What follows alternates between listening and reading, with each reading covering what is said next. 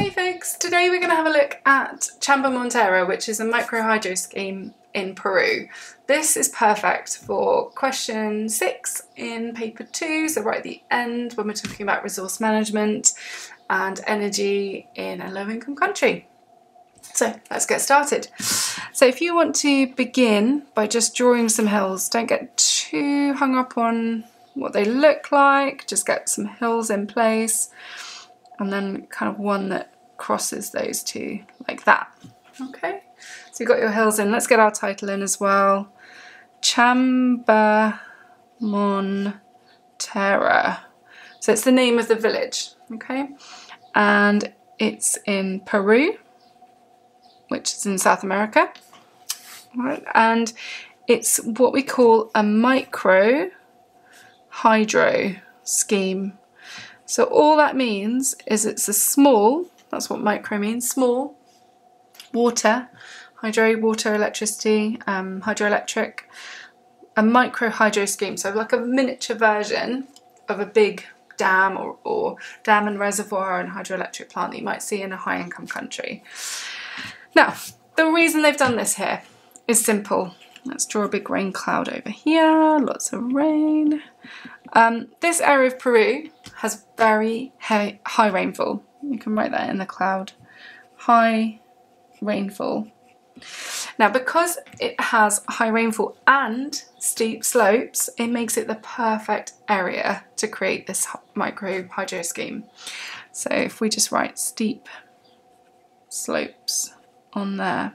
So th those are the ingredients, if you like. That's why they thought this is perfect. It's not particularly sunny, so it's not a great spot for solar, um, and it's working with what you have. So what they have, if we carry this line on, is a river, okay, and it's a fast flowing river, and we can write that in it. So fast flowing, they don't just have one, they have multiple fast flowing rivers. Okay, so they're working with the natural environment. And what they've done is they've, um, so this river kind of carries on up here a little bit. There we go.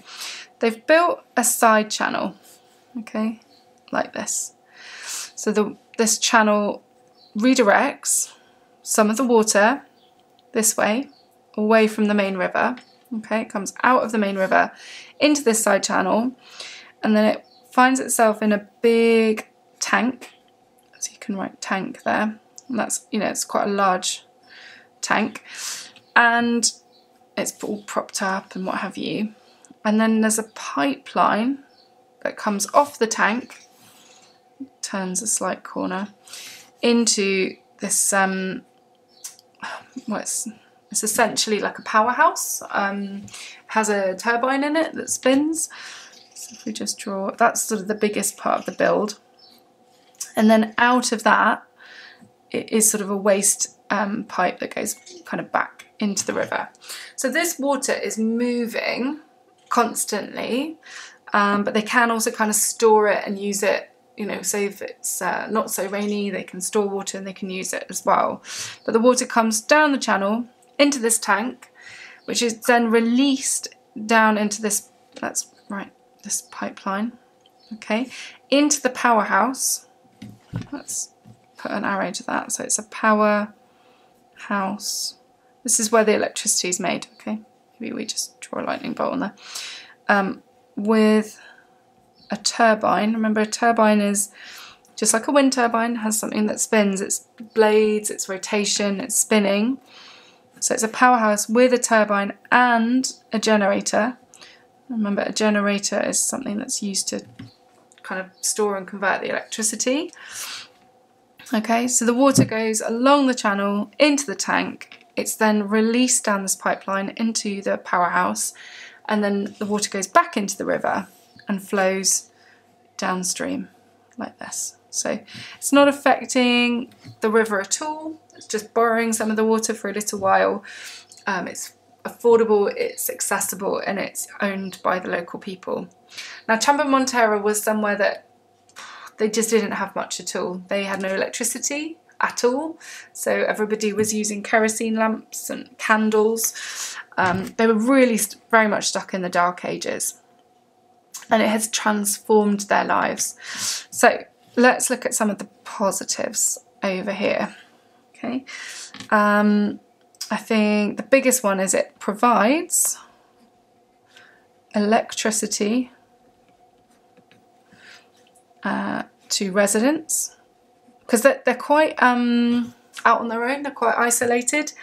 Uh, they're not near other towns or cities, so this is just perfect. It provides the perfect amount of electricity for them uh, without needing to move electricity around. So um, it provides electricity to locals for only $2 per day. So it's cheap electricity.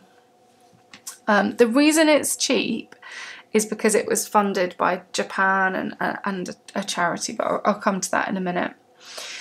Um, another thing, regulating the water, so taking some of the water out, has actually reduced flooding. And that's been a major positive. So regulating water has reduced the risk of flooding. Just amazing. Um, and then it has really transformed their lives. So if you just draw a stick person, put a smile on because they're super happy. um, okay, so because of this situation, they have now got uh, new businesses. So things like radio stations have popped up and new shops and things because they have refrigeration now. Refrigeration there we go. So they can like store medicines. Oh, they can store milk. They can store, they've got freezers. They've got all kinds of um, electricity type appliances now. But before this, they didn't even have fridges. Uh, they now have the internet. So they are now connected to the rest of the world. Their children, they were educated before, but their education has hugely improved because they now have access to computers. Um, so they are just totally different people. The other thing, they, I know it seems simple, but they have streetlights. And they can do things after dark. Let's give them some hair. You know, they life doesn't stop at sunset anymore. So really big, amazing positives because of this little scheme. So how was it funded?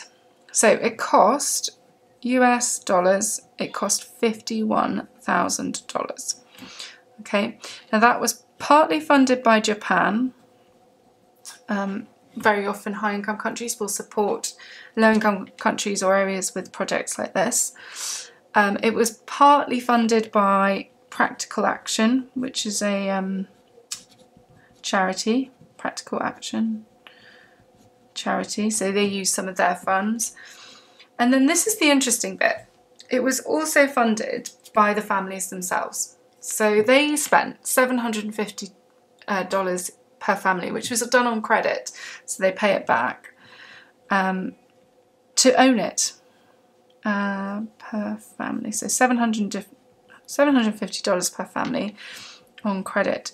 And that means that it's not owned by Japan, it's not owned by Practical Action, it's owned by the local community and the local community work on it. The local community release the water, service the uh, generator, work on the turbines.